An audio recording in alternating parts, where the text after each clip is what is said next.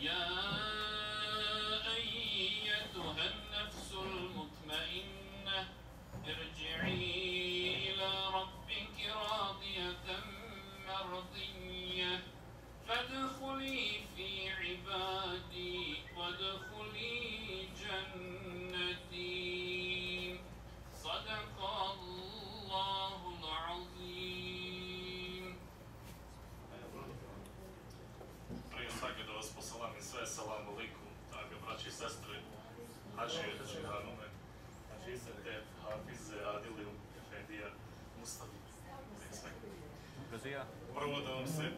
Izvinim, da se izvinim i da tražim halalu zbog toga što nismo od prvog dana i od, od kad smo došli odmah ovaj, imali ordinaciju, to nije bilo stvarno naša greška, mi smo bili tu uz vas i pokušavali smo da, da budemo, halalu nije bilo nikakvih potreba sad s te zdravstvene strane. Ova ordinacija je otvorena juče, tamo na ulazu u hotelu sa lijeve strane ordinacija se nalazi, radit će neka dva puta, po dva i pol sata dnevno, bit će radno vreme, pa molim vas da vratite pažnju kada je radno vreme, da tad dođete i za terapiju i za pregled eventualni. Naravno, ako nešto hitno, ako je bilo šta, možete potražiti, ja sam manje više ovih uz vas, uz, uz nas. Onaj, šta je važno da se napomene? Važna je preventiva, to je najvažnije ovdje na hađu, da se, da se vodi računa o svako o svom zdravlju. Hronični bolesnici su u obavezi da, da koriste svoje terapije. U obavezi su svi da koriste znači, svoje terapije koje su koristili svojim kućama, koje bolesti koje leče već hronično godinama. Ovaj, to je svako obaveza za sebe. Ako neko nije poneo svoju terapiju, neka se javi odmah na vreme, da ne bi čekali nedelju dana, deset dana, da se stanje dosta pogorša, pa da posle imamo i, i oni, mi i svi problemi. Bespotrebno. A, najvažnije je također da se klime u sobama pale kad niste tu. Kad izađete napolje na ručak, na namaz, na, na tavaf kod Keabe, tad palite klimu. Kad ste u sobi gasite. To je broj jedan, broj jedan obavez za svakog od vas. Zato što vremenom umorni smo, vrućine su ogromne i onda imamo mnogo problema, kašlja, prenosimo jedni na drugi, to je ovdje simptomatično i onda toga moramo se čuvamo, to mi iskustva govorimo, ja sam hvala evo već druga godina ovdje, tako da ništa na pamet ne pričam. Potrebe da se, da se pred Arefat, to jest već sad moramo da se spremamo svi za Arefat. Na za Arefata nema haža, to je da se poduče. Potrebe da se svi dobro hidriramo, mnogo tečnosti da se pije, da se čuva snaga, da se piju supe, vode, sve voće, sve što je moguće više da se da se hidrira organizam i da se štedi. Ako se neko ne osjeća dobro, on treba da se štedi, da ne ide sad sve što nije farz i što nije obaveza. Arefat je obaveza. Sve drugo što nije obaveza moramo malo smanjiti, po, pošteno. To naravno se ne odnosi na sve, nego na oni koji osjećaju da nešto nije u redu. Maske. Maske na refatu ćete biti obavezu svako za sebe da nabavi. Imamo apoteku preko puta, to je 5 minuta, nije daleko. Ako neko nije poneo, bilo bi poželjno. Zato što opet kažem vam, ja pa jedna, sigurno 50% ovaj, hađija ima problema s tim, sa grlom, sa alergicom, sa kašljom i to se prenosi, to je ovdje simptomatično. Zbog toga smo i primili te vakcine da ne bi moglo da bude ovaj, to, to šire, da se širi. Onda, to će vam posle malo i Hafiz, ovaj, on sam razgovarao sa njim, da, da hađije koji se ne budu osjećali dobro tamo, da ne pešače po svaku cenu. Nije to, nije to obaveza hađa da se pešači sa svojim nogama, nego da se odradi taj, taj obred. Hađi, posle, moraju se baš sa Hafizom, poslanik sa Allahu je sam svoje obrede nije obavljao na nogama uvek, nego je koristio Kamilu, jer Safio do Merve i tamo na Mini, tako da to je olakšavajuća okolnost, Allah Đašanu je u svemu stavio prostor. Onda što se tiče samog refrata na tom danu, inšala, velike su ogromne su temperature, izloženost suncu, moramo da se pazimo, da se čuvamo. Tamo pogotovo mnogo mora svako za sebe da ponese tečnosti. Tečnosti broj jedan, tamo za hrane nema vremena za to, bit ćemo mi u obredima, u, u molitvama, tako da, ali da se, da se čuva, da se čuva izloženosti suncu maksimalno, da se koristi ta hidratacija, voda, voda, voda, to je sve, i da se čuva. Znači da se štedi dok se ne ode do tamo. Znači, pripreme kreću od danas, ako Bog da išalo svakog od nas da se obratite, sve što treba, tu smo. To je to, ako imate neki pitanja, bilo bi dobro da se obratite. To sam rekao, ako imate oraničnih bolesti da se obratite odmah, da ne čekamo još tih 4-5 dana, nego odmah da reagujem, da se, da se osposobi minimum neki da bi moglo da se obavi. Zbog toga smo došli. Ako ima neko pitanja, bujru. Bilo kakvih. Vezano za, za zdravlje medicinu.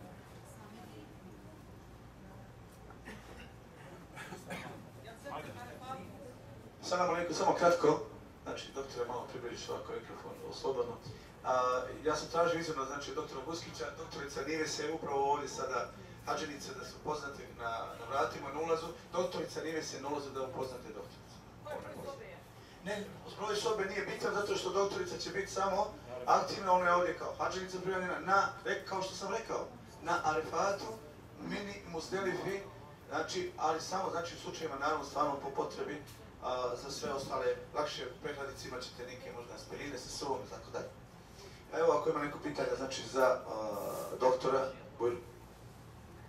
Da napomene da će mi ako Bog da na refatu poniti jednu mini apoteku, nešto lekova najosnovnije. Da, to će biti mobilno, ja ću biti tu stalno, konstantno, tako da... Bujru. Ljudi koji se osjećaju zdravi, koji su zdravi, a morat će biti puno svijeta. Preporučujte li vi da se može popiti dan, dva u stvari, već dva dana ranije, neki, neka medicina koju ja može sprečavati same te Nema potrebe za tim, samo ćete pred maske, maske ćete nositi za to i ponećete, to ću ponijeti ja što gore bude trebalo, vam ništa preventive, samo se čuvajte, maske nosite, to je to tečnost i gore sve. Ima li još? Evo Hadžinica ima jedno Ima pitanje, Hadžinica. Možemo sinati. Bujru. 2014. sam bila na bili smo na Arafatu, bilo je jako mnogo komaraca. I sad, ono, šta vi nam preporučujete za to? Bilo je bilo je malo... Dobro, Allah može da šalim što kaže, izad za to što mi u hramu ne smijemo ništa, na, gore ništa ne smije da se, da se stavlja do sve mirisne preparati. A prije može, prije može, možete slobodno sirćetnim uljem da se ne možete malo da, to je dobro. U hotelu pre nego što se, a gore ništa.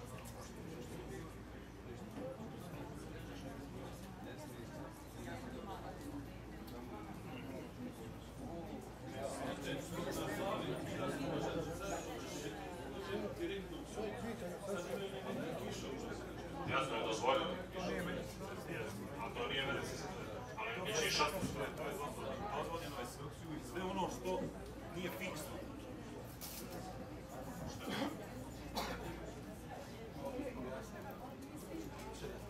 Dakle, za braću, sad ovo odgovaram za braću, s obzirom da majke su i onako pokrivene, dozvoljeno je dakle da je iznad glave sve ono što je na neki način fiksirano, to jeste, ne znam, streha neka, balkoni, kišobran možeš isto tako, nije fiksiran, možeš da ga nosiš tako dalje, samo nije dozvoljeno da stavljate kapu ili tako neke druge stvari. Možeš i torbom da se pokriješ ovako malo iznad da staviš i tako dalje. Ali ne na glavu. Ne, ne na glavu.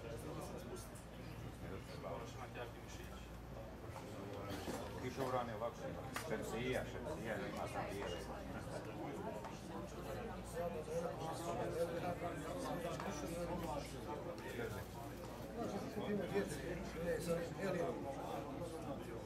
Malo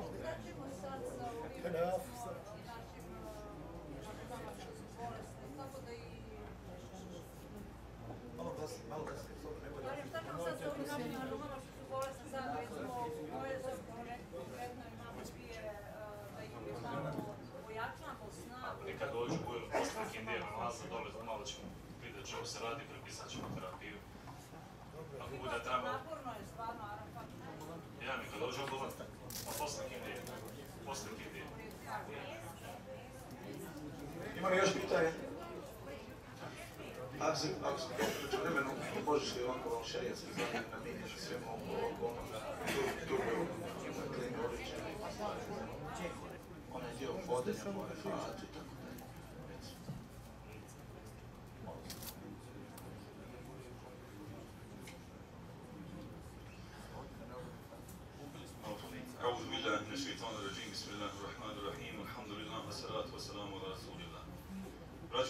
ja nisam e, dakle danas uopšte bio u planu da držim neko predavanje, nego samo da upotpunim možda ono što je doktor ovdje rekao sa šarijetske strane, e,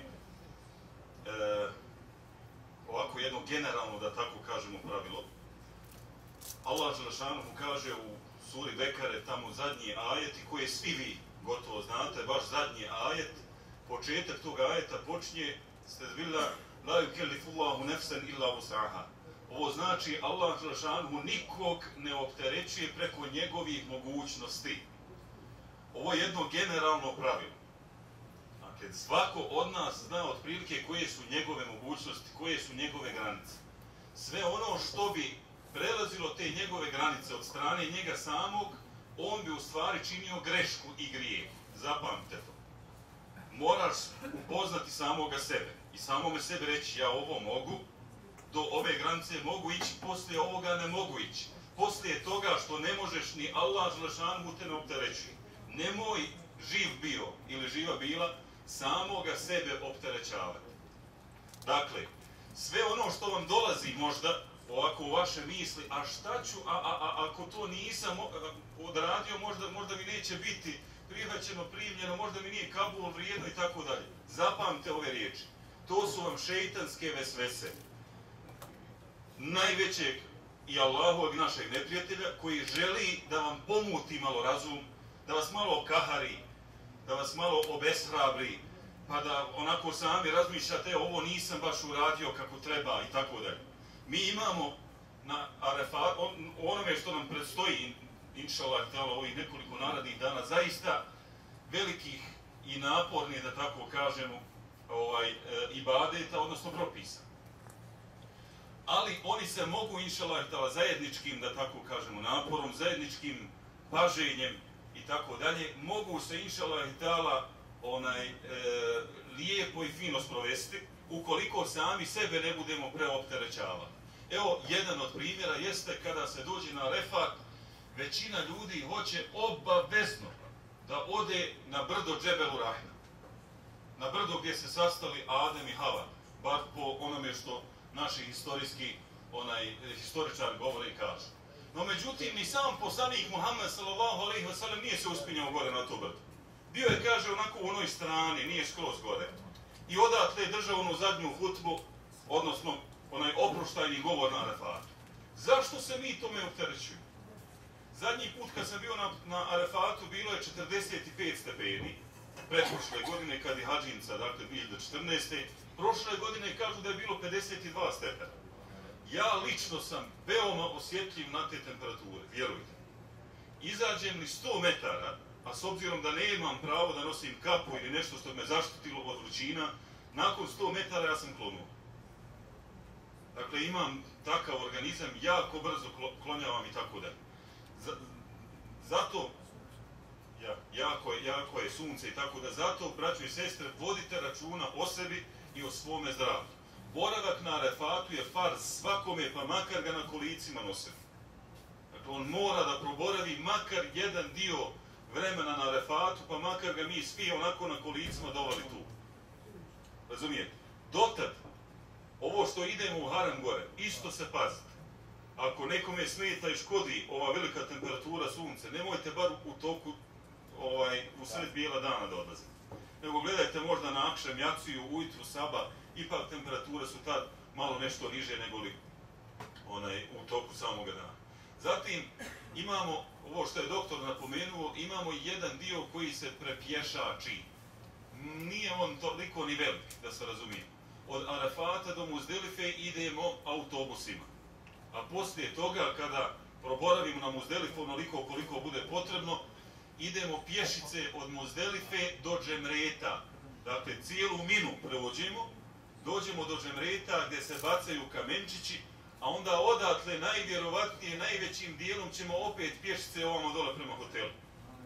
Gdje će nas čekati možda neki prijevoz, to ne znam, prvi dan je diskutabilno da će nas uopšte ikakav prijevozi čekati i u stvari i kad Hadžija sjećam se onih prethodnih jer ogromne su gužve. Dakle, možemo da sjedemo možda u neki autobus ili neki drugi prijevoz i da čekamo u njemu 2-3 sata da se pomakne, da se uopšte pomakne on. I onda je i to mnogo istrpljujuće, nego što hoću da kažem ovaj sto puta. Ukoliko bi nekome bilo potrebno da se uzmu u kolica i da se stavi u kolica, alhamdulillah. Nemoj to smatrati manje vrijednim. Dakle, svi smo mi, Allahu i Đelešanu, robovi koji su ranjivi, koji imaju svoje određene slabosti. Možda i sam budem u potrebi, ne daj Bože. Gledat ću da ne budem, jel? Ali nemojte to ni malo smatrati manje vrijednim. Dakle, bude li vam došlo takva neka misao, pogotovo naši stariji majke, majke, sestre, odnosno naša braća i tako dalje, znajte dobro da je to šeitan došlo da vam malo pomoti, da vi se osjećate malo drugačijim, e, da vam je hađ onako manje nešto vrijedan zbog toga što idete u kolicima i tako dalje. To nije tako. Allah Želešanu nam je dao ruhse i olakšice kod mnogih stvari, kao što je skraćivanje namaza kada smo na putu i tako dalje, tako isto i kod ovih stvari. I ono što sam, dakle, onaj prvi dan govorio, govorio sam vam Bog vam dao, Allah Želešanu milosti. Pa i kod ovoga. Kaže se u jednom hadisu od Enesa ibn Malika, radijallahu anhu, da je Boži poslanik, sallallahu alaihi wa sallam, rekao, kaže, inneke ma da'autani ja in Ademe, inneke ma da'autani wa rađautani. Gafertu leke, ala ma kjane minke vela ubali. Kaže poslanik, sallallahu alaihi wa sallam, o sine Ademov, odnosno o robe. Kaže, inneke ma da'autani wa rađautani. Gafertu leke. Ako mi budeš dolazio s time da me moliš za oprost, Varađautani, vraćajući se meni i tako dalje. Oprostit ću ti sve tvoje grijehe i neću se obazirati na njih. Vala ubali, uopšte se neću obazirati na njih. Ja ibn Ademe, la ubelagat zunubu kanane sema, kada bi mi došao, kaže, sa grijesima koji dosežu do neba. Su mesta ferteni, gafertulek. Tražeći oprosta za te grijehe, ja ću ti ih oprostiti. Ja ibn Ademe, levo etejtuke bi kirabil erdi hataja. Kada bi mi došao, kaže, sa grijesima, poput bi kirabil ard, poput zemlje veliki. Thume ne la tušik bi šeja. A zatim kaže da mi ne činiš širk, to jeste da ne obožavaš nikoga mimo mene, kaže Allah Žašanu, la etejtuke bi kirabi hamagfiratin da isto toliko ću te ja oprosta, kaže, doći. Oba sud. Dakle, bitno je ta naša svijest da smo mi robovi, da smo mi Allahu Đelešanu robovi i da kada pogriješimo treba da se sjetimo gospodara, odnosno raba. Onoga koji će za grijeh ukoliko se ne pokajemo kazniti, odnosno ukoliko se pokajemo da će ga Allah Đelešanu u šta pobrisati. To je bitno. Jer Allah Želešanu voli svoje robove. Znate koje najviše voli? Jer svi smo mi griješnici, jel tako? Ali najviše voli one koji se Allahu Želešanu ukaju. I zato nemojmo biti ni od onih koji će osuđivati, pogotovo ovdje, braću i sestre, na hađu, pa reći onaj nije onako, ona je ovakav, ona je onakav i tako dalje, ili onaj nije uradio onako kako treba, to ti ne valja, to ti neće biti prihvaćeno ili ići ne daj Bože dalje kao što su dvojica bila, pa jedan bio od njih veliki abid pobožnjak, a drugi je bio fađer, jedan od onih koji je mnogo griješio. Ali ovaj pobožnjak sebi umislio nešto da ga mora pratiti. I gdje god ga vidi da pogriješi, mora on njemu kljucati. Pogriješio se, ne valja tako, ne valja ovako, ne valja. Nije imao metod, nije imao sistem kako da mu priđe. Vjerujte, kada izgradite sistem kod sebe, a to je onaj fini, lijepni metod da mu priđeš s lijepom riječju, nema toga ko će te odbiti. Nema toga ko će te odbiti. I kaže mu ovaj, jesi li ti kaže poslan da me pratiš? Jesi li poslan kaže da me pratiš, subhano? I da zbrajaš ove moje greške. I kaže, ovaj je jednom fađer učinio tako veli grije da mu je ovaj došao i rekao, Wallahi kaže la yagfirullahu lek. Wallahi la yudkhilaka al-janna. Kaže tako mi Allaha neće te Allah oprostiti. Tako mi Allaha kaže nećeš ući u džennet. Zbog toga što si tako to i to učinio. Kaže Allah Đelešanuhu poslao mi je melek koji je došao i rekao onome koji je pogriješio. فقال للمذنب mudnim. Udhulu džennete bi rahmeti. Uđi, kaže, u džennet mojom milošću. A onda je, kaže, došao onome drugom.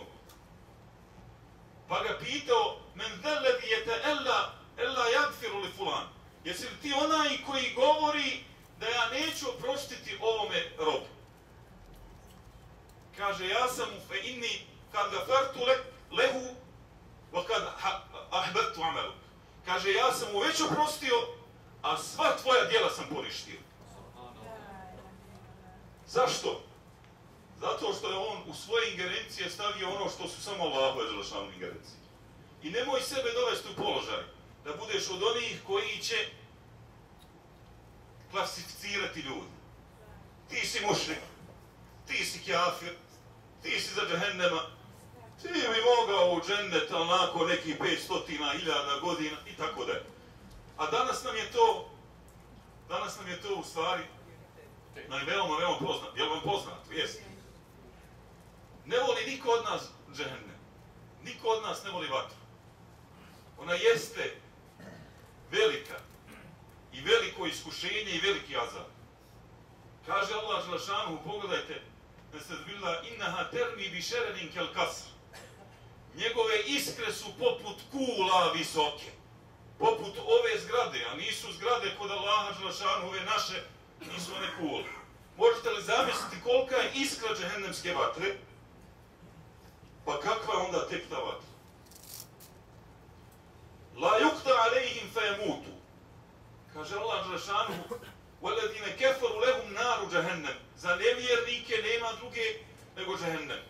La yukta alejhim femutu, neće im biti presuđeno pa da u džehennemu umru, pa da jednom prekine ta, šta, kazna nad njima. Vala ju hafafu anhu min adabiha, niti će im kazna, imalo kaže biti umanjena, smanjena.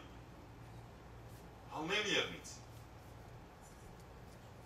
A inša Allah i dala, Allah žašanu prema vjernicima milosti. Inna Allahe bin nasi lera ufur rahim. Allah Đelešanu je u istinu milostiv prema svojim iskrenim robovima i tako dalje. Ispričat ću vam ovdje jedan interesantan, pomalo poučan i smiješan slučaj jednog bračnog para iz Minnesota koji su odlučili da provedu, odnosno da svoju 20. godišnjicu braka proslave u istom onom hotelu i u istoj onoj hotelskoj sobi kada su bili na medenom mjesecu u toploj Floridi. No međutim, kaže se u ovoj priči da nisu zbog velike gužve u saobraćaju ovom, dakle, avionskom mogli da lete isti dan. Pa je muž morao da odleti u četvrtak, a njegova supruga sutradan u petak. Kada je muž doletio u Floridu i došao do hotela u kojem su bili, dakle, prije 20 godina, na bračnom putovanju, kaže, sada su prilike mnogo drugačije. Tada nisu imali internet, nisu imali kompjutere i tako, da to je bilo možda kada su prvi put bilo 80-ih, a sada je ovo negdje oko 2000 S obzirom da je imao internet, odmah je sjeo za kompjuter u svojoj sobi, prijavio se na recepciji, sjeo u svojoj sobi za kompjuter i htio da pošlje mail da se javi svojoj supruzi. I u istinu napisao je finu mail, javio joj se, no međutim napravio je jednu ogromnu grešku, a to je da je izostavio jedno slovo maila svoje supruge, mail adresu. Pa je ta poruka otišla skroz na drugo mjesto. Otišla je tamo negde u Houston jednoj ženi koja se u tom momentu ili u tom vremenu vratila sa pogreba svoga muža koji je, činim se, bio dal evanđelistički sveštenik, ili njima dozvoljeno da se žene ili neki drugi, nije nebitno. Dakle, on je preselio zbog srčanog udara, iznenadnog srčanog udara. I ona se taman vratila kući i kaže prvo što je poželjela jeste da sjede za kompjuter i da vidi dakle mailove, odnosno riječi saučešća svojih prijatelja, od svojih komšija ili rodbine i tako dalje. I krene da čita prvi mail, a to je mail od ovog čovjeka koji je pogrešio adresu i odmah nakon par sekundi, što mi kažemo, bandak u nasvijest. Ulazi joj sin umeđu vremenu u sobi i vidi majku na podu i hoće da je probudi, a umeđu vremenu podiže glavu i gleda na kompjuter kad tamo na monitoru poruka. Piše ovako. Prvo ono od koga, jel, to mora da ima, odnosno subjekt. Subjekt kaže stigao sam. Hm. Adresa mojoj voljenoj ženi. A u nje je čovjek prije par minuta pokupan. I sad, otkud mail i to baš ovakvog teksta. Mojoj voljenoj ženi. I sad dole njegova poruka. Kaže, znam da si iznenađena što ti se javlja. Ali ovdje odnedavno imaju, kaže, internet. Imaju i internet i dozvoljeno nam je da se javimo svojim najmilijima i najvoljima. Kaže, vidim, nije kraj poruke, vidim da je ovdje sve spremno za tvoj sutrašnji dolazak.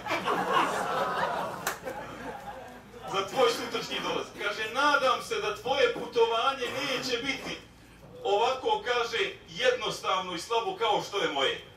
I PS, samo da znaš, ovdje je, kako ono, Florida, mnogo vruće.